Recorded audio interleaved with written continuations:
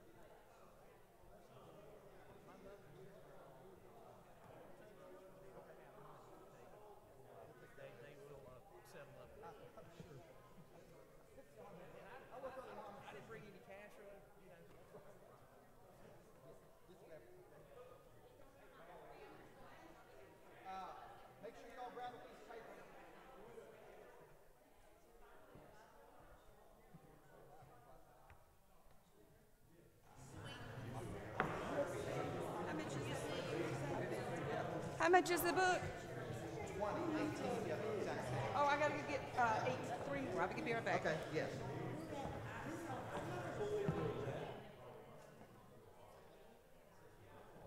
All right, folks. That means- nope.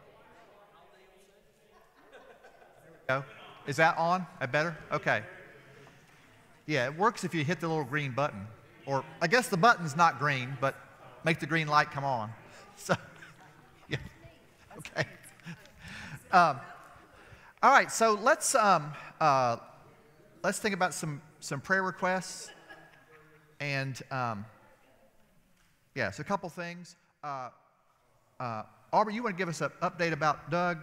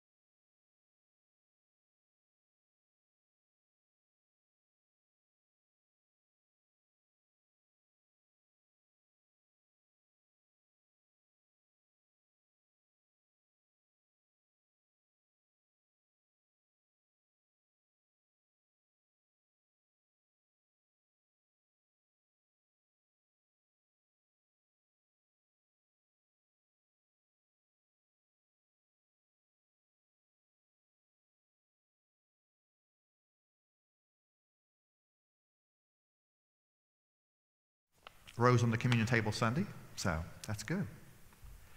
All right, lots of things to keep in our hearts. Well, let's, um, let's pray together.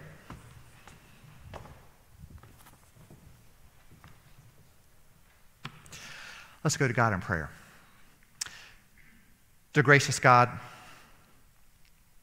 as we continue through this, this journey in Lent and trying to use this time to devote ourselves more closely to you, to work on being disciples that would follow you, to work on practices of prayer or kindness or whatever ways that will help us be reminded of this discipleship that we are on this journey for. None of us, none of us are going to perfect it, but we keep walking closer and closer to you. That is our hope. And even if we take the wrong steps, dear God, we pray that just the effort will be pleasing to you. We thank you, dear God, for this church family and for the way in which we look out for each other, pray for each other, take meals by, celebrate the great days, and, and weep and cry on the difficult days. Remind us what a gift this is to have a community of brothers and sisters who are always there for us. Thank you for finding a way to inspire us and to nurture us to be your hands and feet to one another and help us to find ways in which we can be your hands and feet in this community.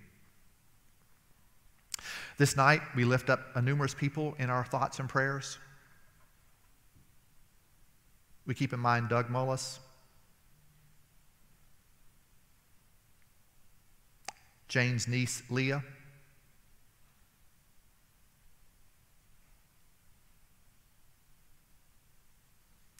Cecilia Broom,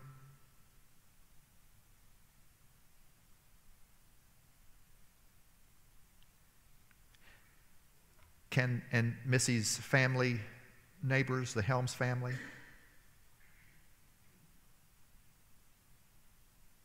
Ann Little. Kate Lavender.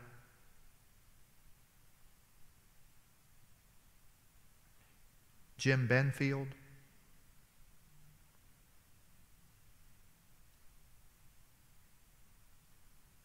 Vicki Flowers and Bill.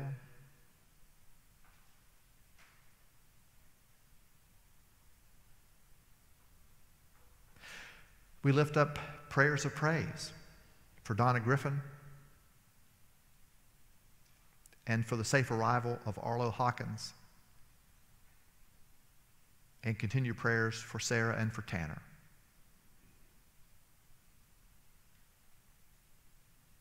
Oh, gracious God, we know that all these things in our lives, from, from celebrations of birth and celebrating how procedures go through, from surgeries on rotator cuffs to, to even tubes in your ears, for how we live our lives in this community. When we read your stories, of how you work with the ancient people of Israel and how Jesus ministered to people, we know that our lives matter to you. We ask that you would help us to learn in following you that we would treat these lives all around us as sacred as well. For all that is continuing to happen in Ukraine, we just lift up our prayers for those people. Help us to find ways in which we can also be helpful to their situation. Forgive us for our sins. Forgive us when we fall short of following you. Forgive us by our sins of omission when we just stand by the sidelines and don't offer the help that we can. But more than forgive us, help us to reorder our lives so that we may follow you more closely when those times come around again.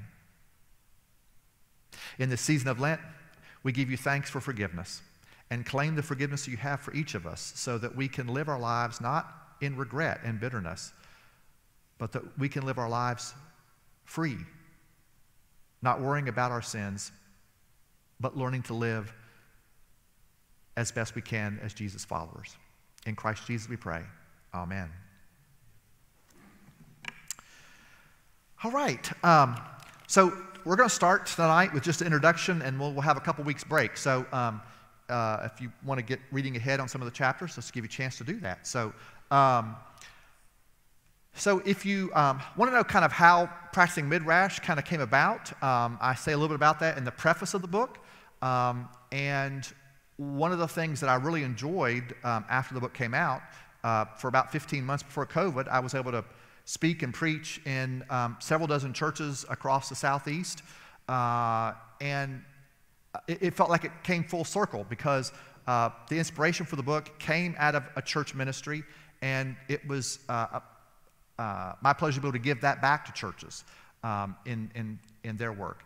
Um, let me also give a disclaimer. Um, this book is written for folks to have a deeper encounter with the Bible and to um, strengthen their uh, faith um, and to find better ways that they can walk closer to God. If this doesn't help you do that, it is okay to go in one ear and out the other. You will not hurt my feelings. So, um, so my prayer is that this will help your uh, walk with Christ, and if it doesn't, it's all right, let it go. So, um, uh, uh, again, inspiration I wanted to do this was for folks, a lot of folks who struggle with Scripture and have deep questions about it. Um, and that's really the audience I've been, been working with.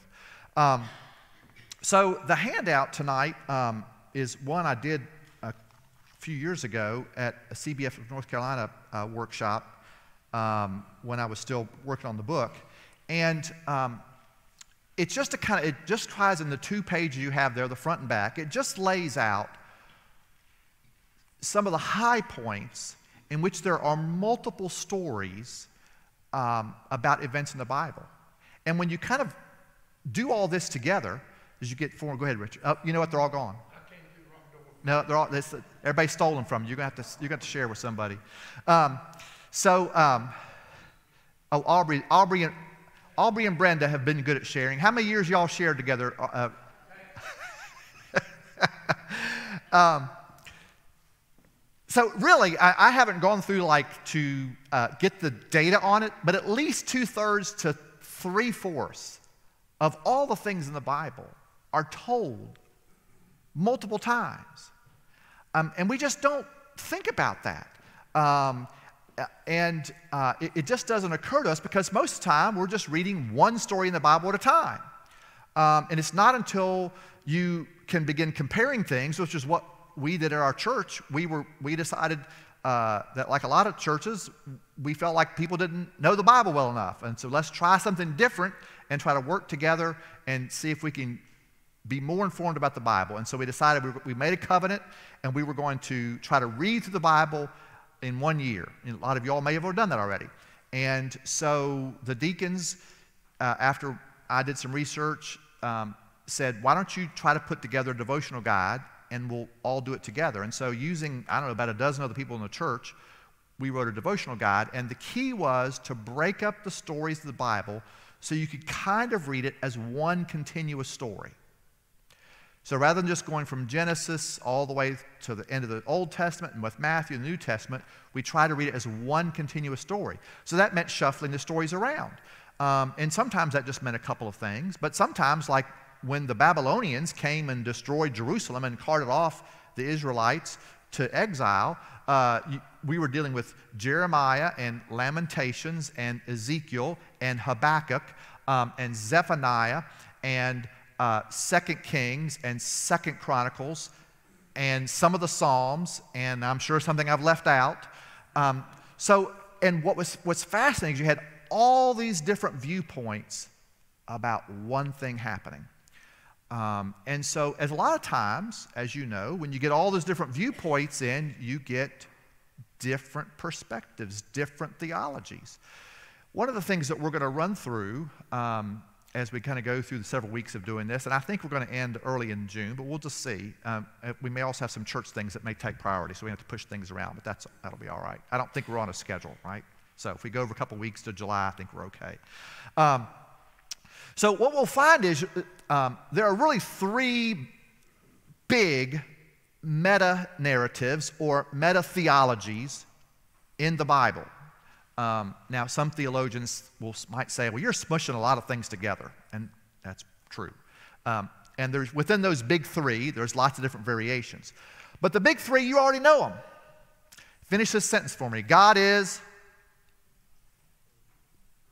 love, right? Love. Everybody's saying things, right? That's, that's, that's scripture, right? God is love, right? That's one of them. Uh, there's another one. God is holy. I think I heard that. Holy. God is just is the third one. Those are the three big theologies. Um, and so, and they all have historical um, works with them.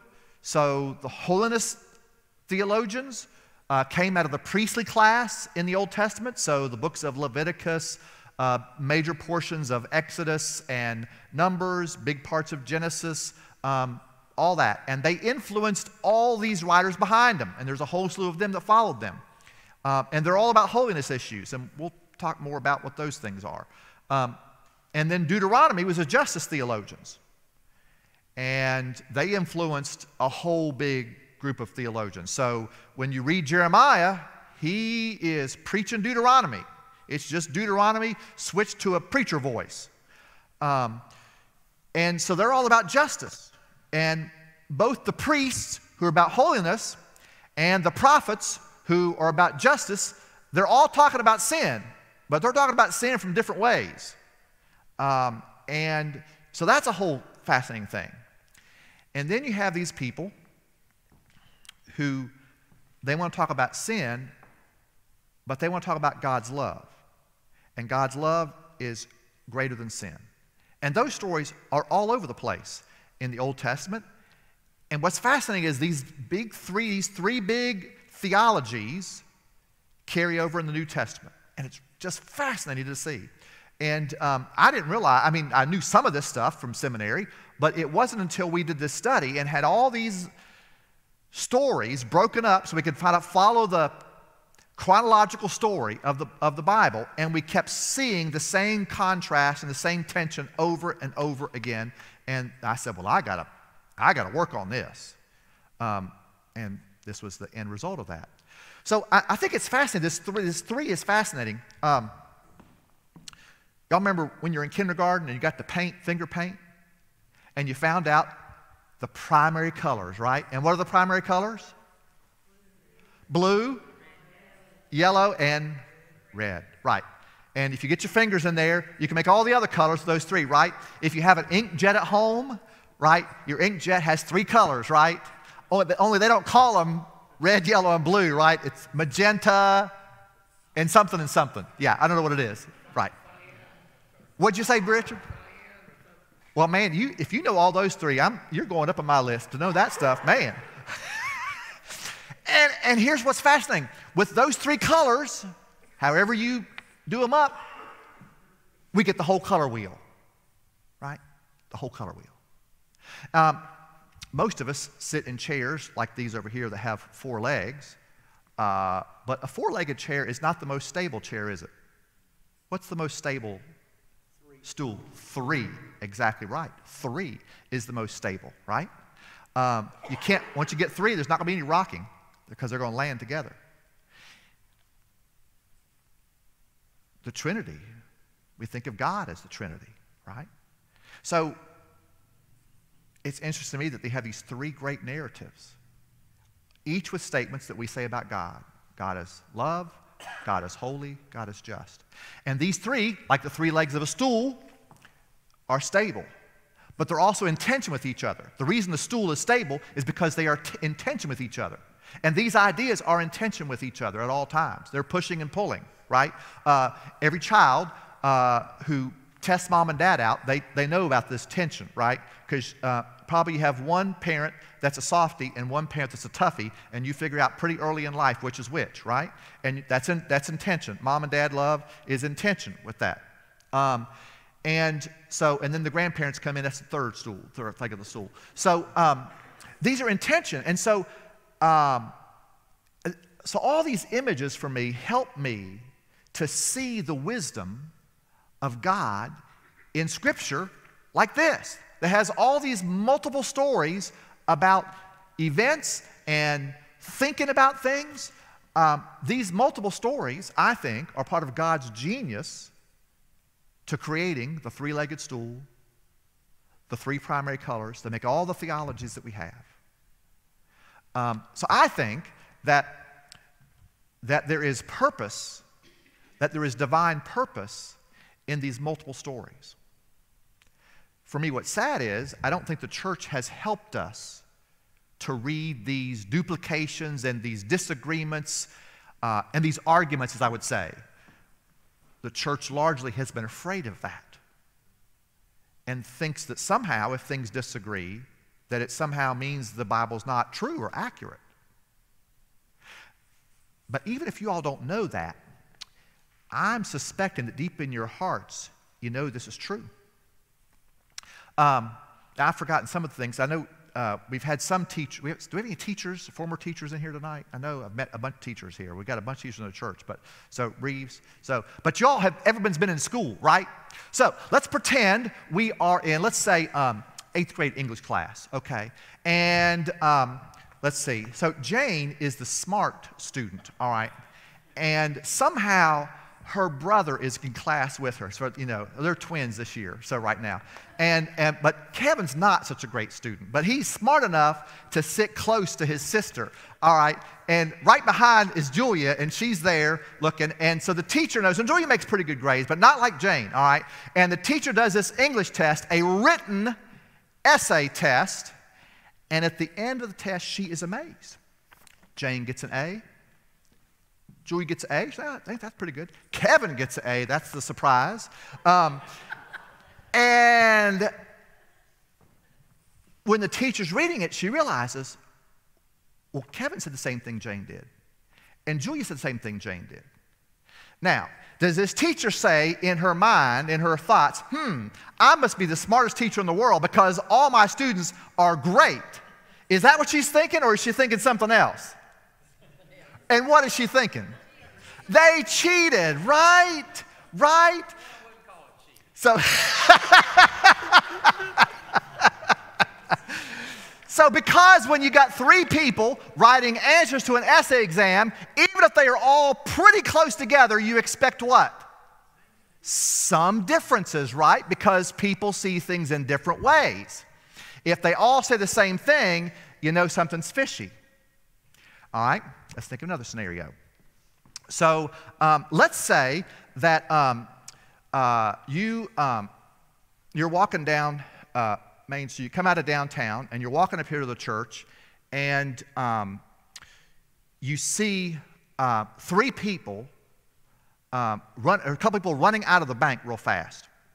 And so you call, and you hear alarms going off, and you call the cops, and they rush there, and uh, they take your message, and they take uh, the witness of three other people about this bank robbery.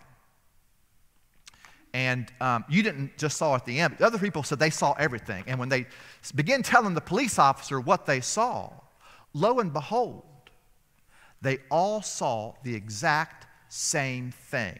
They even said the license plate on the car that got away is the same. Now, does this police officer say, hey, this is going to be the easiest case in the world. I'll solve this right away. Or does the police officer say what? Something is fishy, right? Because no three witnesses are going to see the exact same thing the same way, are they? Even if they all got a good view of that license plate, they probably can't even remember it exactly the same way, right? Think something fishy. We actually think there's more truth if we see, if we hear different descriptions, and then we can kind of work on those different descriptions to figure out what the clue is, right? We know this is true. Yeah. All right. I don't. This this may get a little personal. So. Um, so imagine in your family, you might have a different number in your family, but imagine you had three different children, three kids in your household, and uh, you're going to just leave them for a little bit. They're, the oldest is old enough to, to be okay with the younger ones for a short bit. And you just run off for a quick errand, and you're back in, you know, 30 minutes. But when you get back, the lamp in the living room is broken on the floor. and you're a smart parent, so you talk to each of them separately, right? And what you find out is that it was Sparky the dog that knocked over the lamp, and that's what happened. And all three of those children saw the thing exactly the same way. And do you think, well, I just think I have to punish Sparky about that, or are you thinking something else? What'd you say, Jim?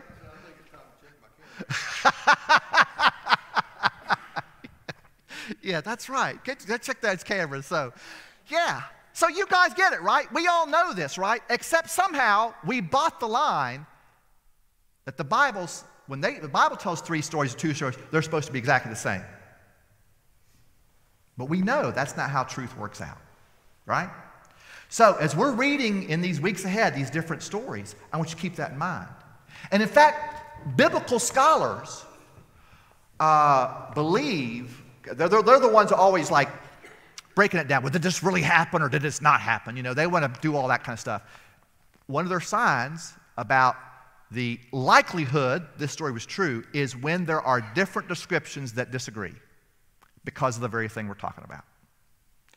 So, we're going to be on a journey that may be different than how you've done Bible study before because we're going to see these different stories and we're going to talk about them.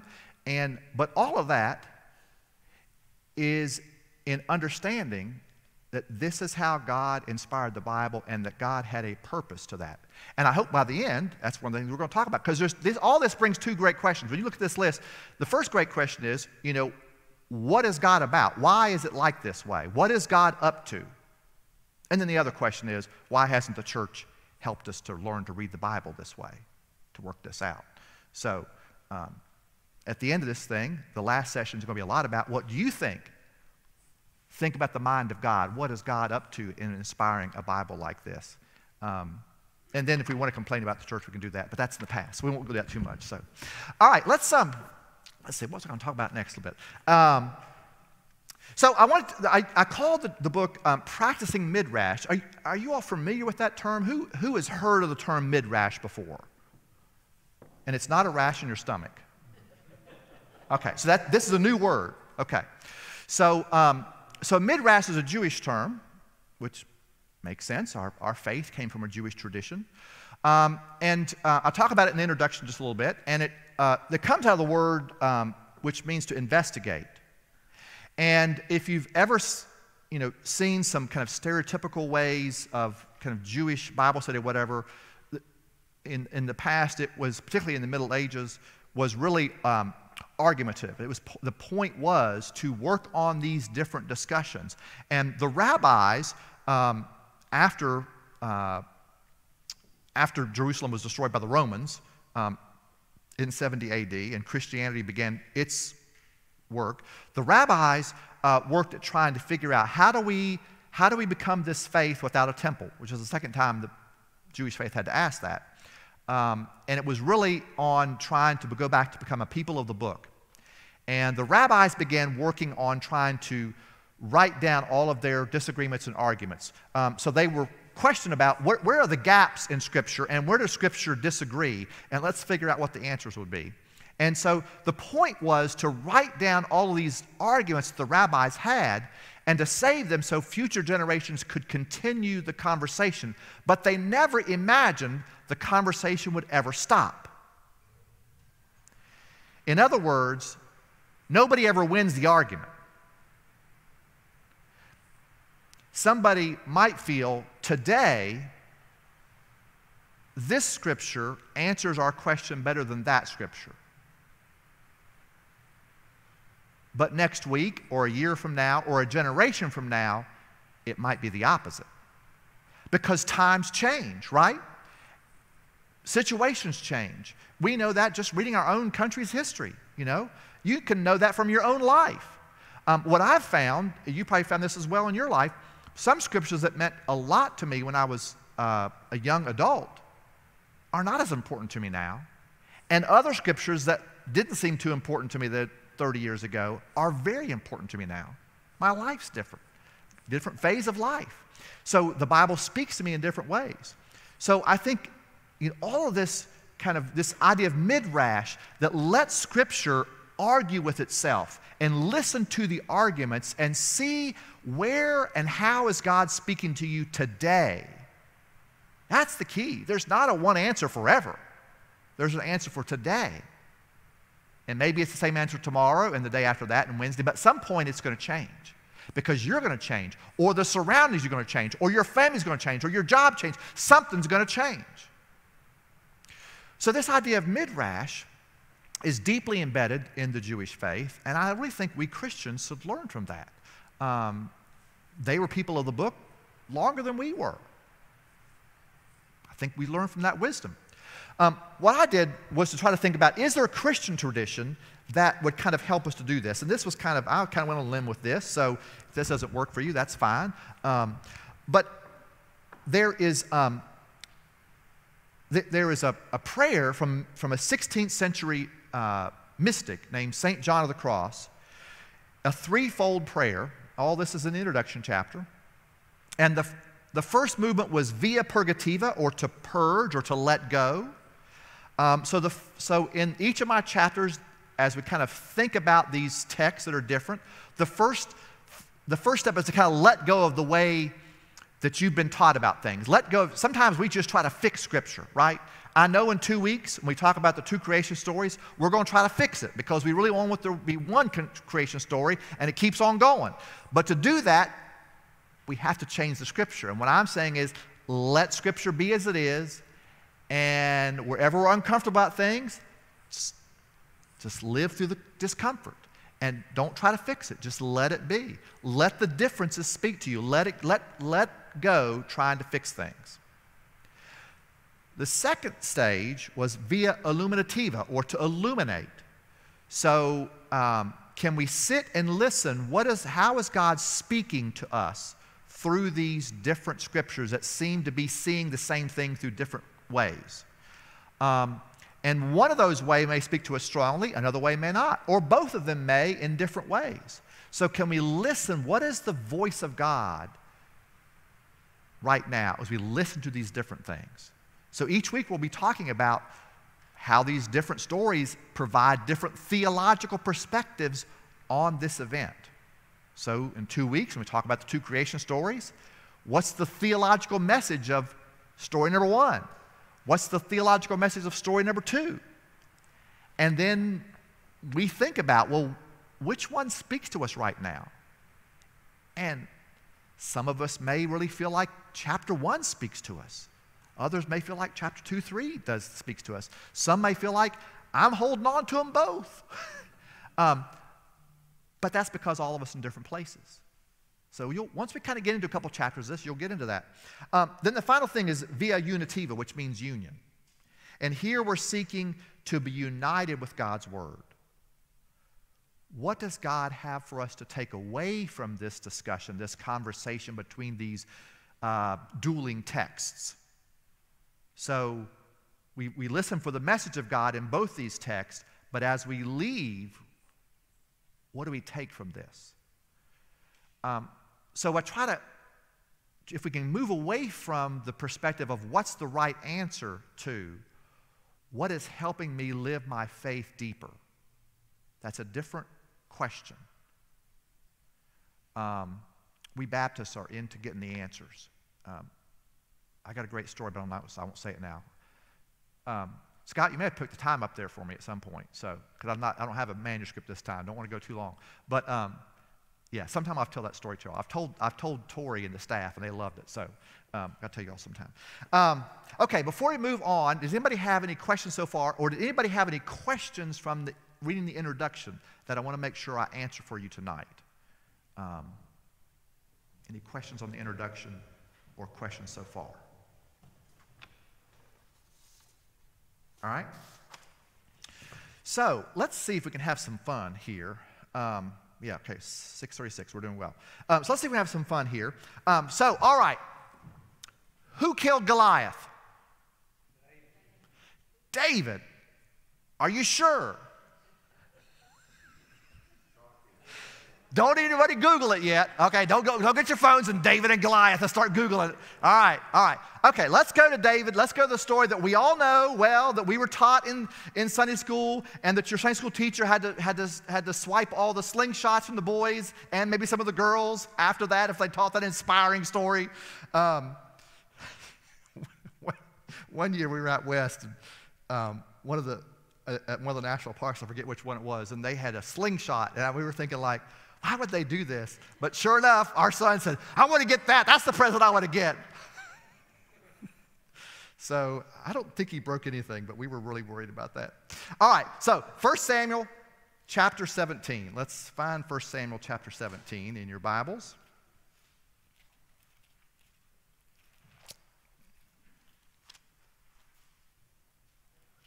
And make sure you get 1 Samuel, not 2 Samuel. 1 Samuel 17. And we're just going to read the first 11 verses to kind of get things rolling here.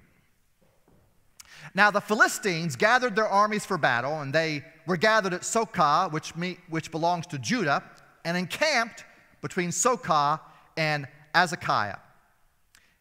Saul and the Israelites gathered and encamped in the valley of Elah and formed ranks against the Philistines.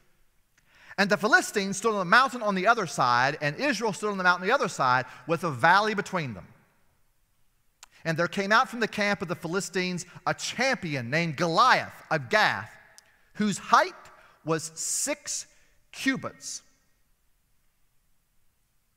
He had a helmet of bronze on his head, and he was armed with a coat of mail. The weight of the coat was 5,000 shekels of bronze and he had greaves of bronze on his legs and a javelin bronze slung between his shoulders. And verse 7 is a key verse. The shaft of his spear was like a weaver's beam, and his spear's head weighed 600 shekels of iron, and his shield bearer went before him. This is all because couldn't carry all that stuff. Nobody could. He stood and shouted to the ranks of Israel, Why have you come out to ba- draw up for battle? Am I not a Philistine? And are you not the servants of Saul? Choose a man yourselves and let him come down to me. If he is able to fight with me and kill me, then we will be your servants. But if I prevail against him and kill him, then you shall be our servants and serve us. And the Philistine said, Today I defy the ranks of Israel. Give me a man that we may fight together. And when Saul and all Israel heard these words of the Philistine, they were dismayed and greatly afraid. So this is a story we remember, right? So keep looking at verse 7. Hold on to that when you, uh, we're going to move in a minute, but make sure you stick your finger in that verse. Um, so let's just double check if we remember his sake and go to verse 48. When the Philistine drew nearer to meet David, David ran quickly toward the battle line to meet the Philistine. David put his hand in his bag, took out a stone, and slung it and struck the Philistine on his forehead. And the stone sank into his forehead, and he fell face down on the ground. So David prevailed over the Philistine with a sling and a stone, striking down the Philistine and killing him. And there was no sword in David's hand. Then David ran and stood over the Philistine. He grasped his sword, drew out its drew it out from its sheath, and killed him, and then he cut off his head with it. And when the Philistines saw that their champion was dead, they fled. Well, that should answer the question, right? Except now I want you to go to 2 Samuel, chapter 21.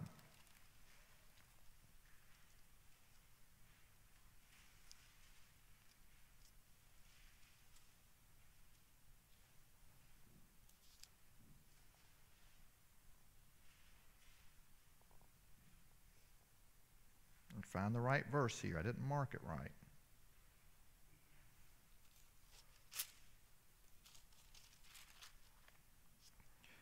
Well, I thought it was verse 9, but that's not what I'm looking for. I'm sorry? 19, thank you. Yep, there we go. I wrote it down wrong. Okay. So let's go to um, verse 18. After this battle took place with the Philistines, notice the Philistines are battling again, at Gob, then Sibbecai the Hushathite killed Saph, who was one of the descendants of the giants. Remember, Goliath was a giant. Then there was another battle with the Philistines at Gob, and Elhanan, the Bethlehemite, killed Goliath the Gittite, the shaft of whose spear was like a weaver's beam. That's the same verse that was in 1 Samuel 17 7. According to this story, El Hananan is the one who killed Goliath. Now, how about that? Isn't that interesting?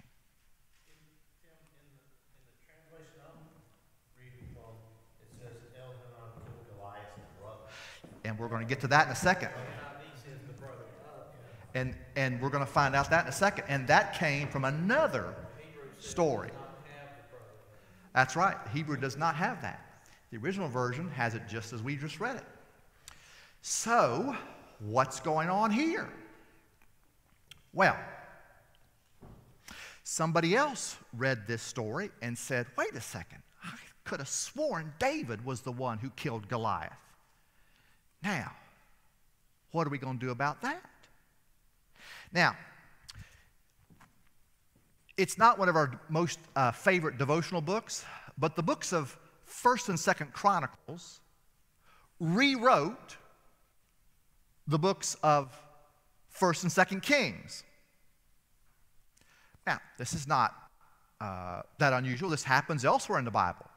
Uh, the Gospel of Mark was the first gospel, and Matthew and Luke took almost most of Mark and made that a part of their gospels, and they rewrote that. Okay? Uh, they changed things for lots of reasons. Sometimes they thought Mark made a mistake. Sometimes uh, maybe they heard a different story. It's hard to know that. Maybe sometimes they just changed things because the theology was different. We'll be talking about that later. But we know that in the New Testament this happened. It also happened in the Old Testament. There are other places in the Old Testament where we see passages being rewritten and copied. So, um, part of the ending to Second Kings is also in the middle of Isaiah. They're copied, and pretty much some of the words are copied word for word, and then other places things change. So, what's interesting about Chronicles is that Chronicles decided they didn't, they didn't rewrite all of 1st and 2nd Kings, um, and, and they also wrote part of 2nd Samuel. Um, they only began with the coronation of King David. So the stuff in 1st and 2nd Samuel um, that was before David's coronation, the chronicler, the person who wrote 1st and 2nd Chronicles, just left that out. Didn't worry about that. Said, I'm going to start this story about when King David was coronated, and then I'm going to do the history of Israel all the way uh, to, uh, to Babylon. So um, it was a story about Israel's kings. So this story about David killing Goliath wasn't a part of Chronicles because it didn't begin until David was coronated as king. And his battle with Goliath happened when he was still a teenager. So that wasn't a part of Chronicles. But Chronicles knew the story. And when Chronicles came up to this uh, verse in 2 Samuel 21, he did the same thing you guys are doing. Wait a second. Elhanan didn't kill Goliath, David killed Goliath, right? So let's go see what the chronicler did in the story. So, First Chronicles chapter 20, verse 5. Let's hope this time I copied it down right. And Chronicles is just after Kings.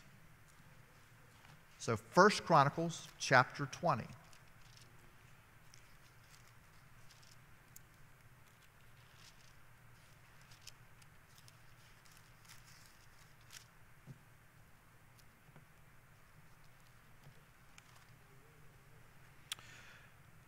All right, so let's go again. Verse 4. We'll start with verse 4. After this, war broke out with the Philistines at Gezer. So it's still the Philistines. They've changed the name of the location. Um, this happens also a lot. Uh, if you notice, this happens in U.S. history too. If you read Civil War accounts, uh, oftentimes uh, the Union and the Confederates had different names for the places where the battles took place. So this is not unusual when you have different storytellers telling things. Um, so, uh, war broke out with the Philistines at Gezer, and Sibbecai, the Hushathite, killed Sippai, who was one of the descendants of the giants, and the Philistines were subdued.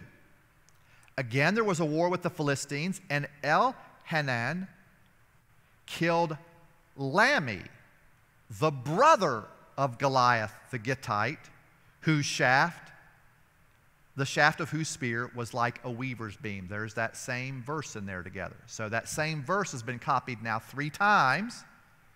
So, uh, as the identifying piece, this, this verse, maybe this is the verse that really was carried on. You remember, all these stories were carried on as oral histories before they were written down, right? So maybe it was that the, that, that was the key thing everybody remembered. The shaft of, of whose was like the weaver's beam. Um, so that's the, that's the centerpiece in all these stories. So either David killed Goliath, or Elhanan killed Goliath, or Elhanan killed Goliath's brother, Lahmi. Two of those things can be correct, but not all three.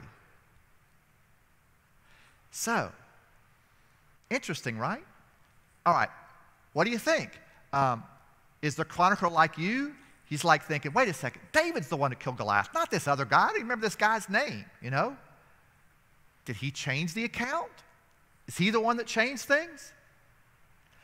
Or, think about this. What's another famous story about David? What's another story about David, famous story about David? What'd you say, Bill? You go speak louder. My, Give me another famous David story. Y'all know your saying. Did you say Bathsheba? Yeah, Peggy said Bathsheba. Yeah, there's, there, there, there's, there's one. David and Bathsheba, right? And the story about David and Bathsheba is the all powerful king steals another man's wife and kills him over her, right? So, a man, let me come back to this. Let's look at one of the things, one of the details. Fascinating.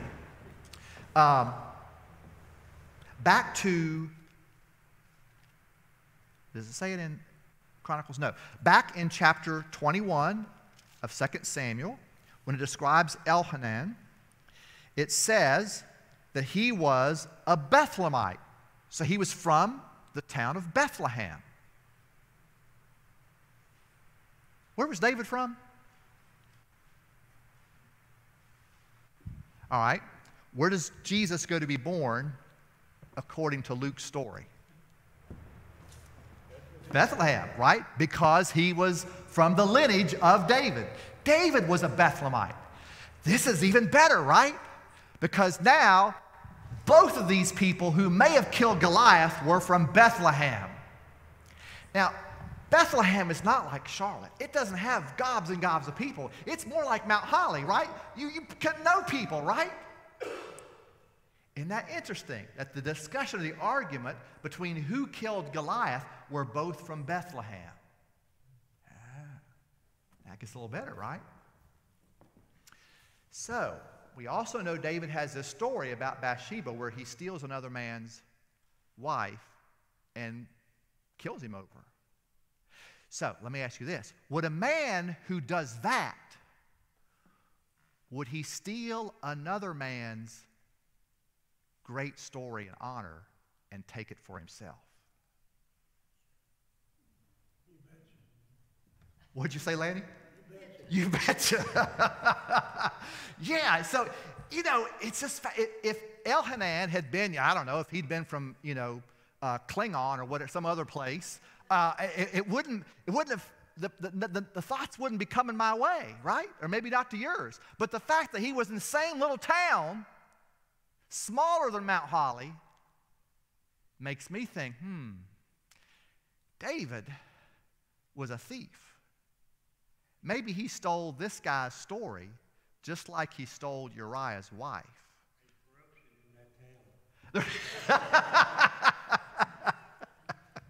you better keep your eyes open, right? That's right. Maybe. so we can't answer this question, of course, right? There's no way to know that. But I just think it's fascinating.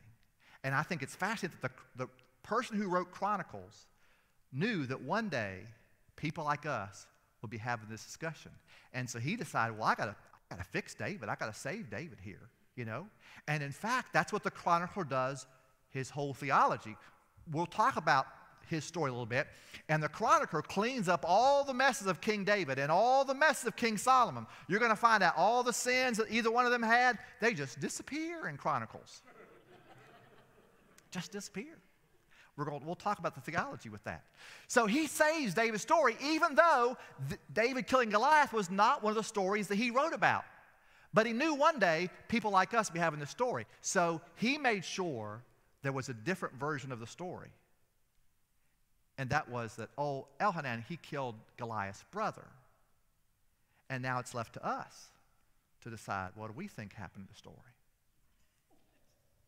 So, I say all this story to help you think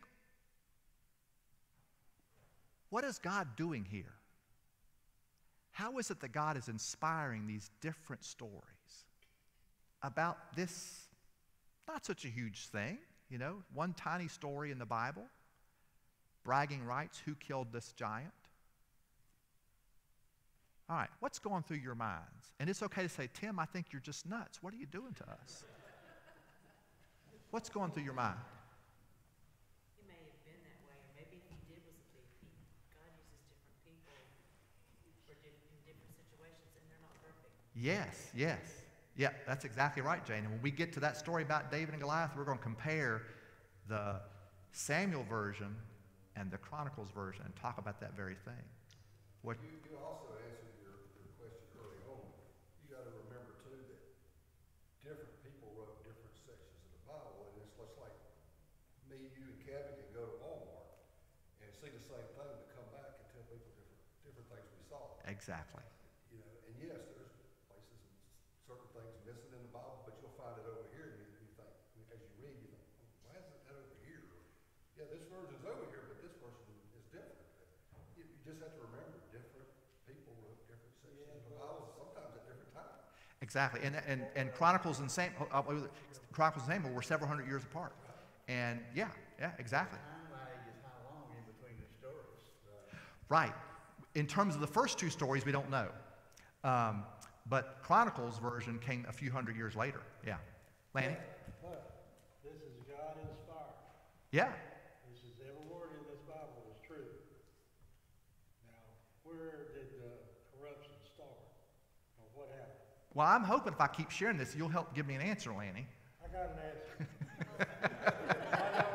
I wanna know, you say, uh, David, there are two stories about who killed Goliath. Right. Where's the second one? That, that's the, the one in 2 Samuel 21 19, which says El, Elhanan. Killed a brother. Well, that was added in there because uh, look, at the, look at the footnote. Look at the footnote. That's why I couldn't. Right. The footnote adds that in. The New Revised Standard doesn't do it. Um, and so, and they add it in because in Chronicles, they put that in there. So, does not have his brother. Yeah, yeah. Maybe they lost their, maybe I look at things totally differently. Yeah, go ahead, Julia. More of a, um, good versus evil, Uh-huh. great versus weak. Yeah. I don't honestly get too caught up Uh-huh. in the name.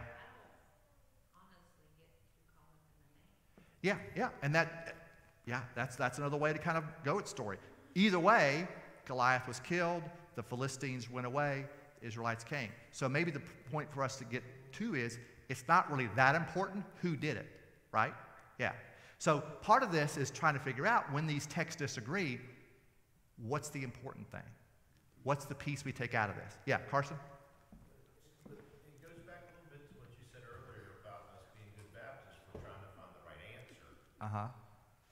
But I think the question you're posing is, well, how is God using these contradictory stories in some way? Right.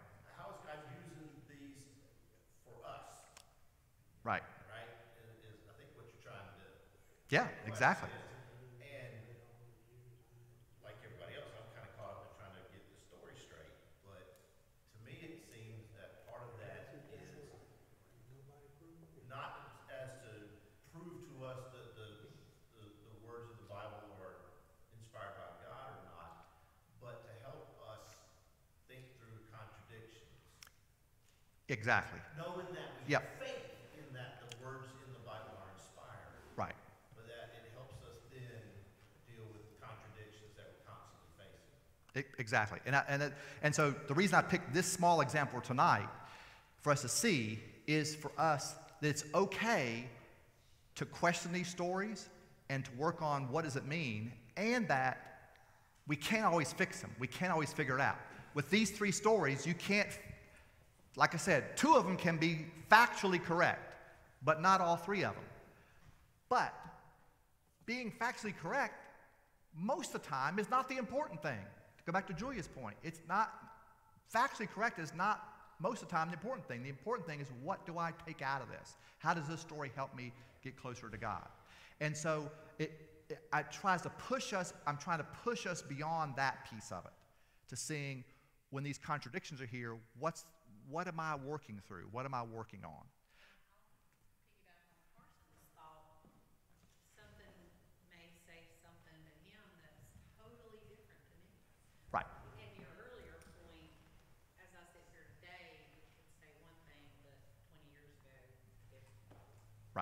Yeah. So, and, and the living word is exactly what I think this way, the way God inspired by- with all these different stories, that it, that's what makes the Bible a living word. These conversations continue and continue.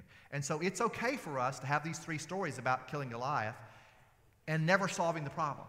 And so the rest of this t- sentence, we're not going to solve an answer, but we're going to try to talk about a conversation in which each of us kind of work through things and figure out how may God be speaking to me about this. And sometimes it is about how does God speak to us as a church, too, as well. All right. Any last thoughts? Anybody's got last thoughts? Yeah, Jay? Could it be that the Philistines wanted Israelites in different battles at the same place? Because if you look at First Chronicles eight, it talks about Jonathan, son of Shema, David's brother, killed a giant. And then it says, then David and his ten men left, so that was later in time. Right. When David was a teenager. Yep. And they, and they had many battles with the Philistines. And they did Yep. the battles at the same time, at the same place, right? Yeah. Good thinking, Jay. What else? All right, well, I hope you're all ready for a, a fun excursion. I think this will be fun. So, next week, no Bible study uh, because we will be having Maundy, Thursday services on, and Good Friday services. Both those services will be at 7.30. Um, on Tuesday, we'll have Stations of the Cross uh, here in the sanctuary. It's just drop in your own time of prayer and reflection um, and meditation. Stay here for 15 minutes, stay here for two hours. That's your thing. Uh, we'll have a little booklet for you to go through. I'll say some more Sunday. Um, but yeah, thanks for tonight. We'll see you next week. See you Sunday.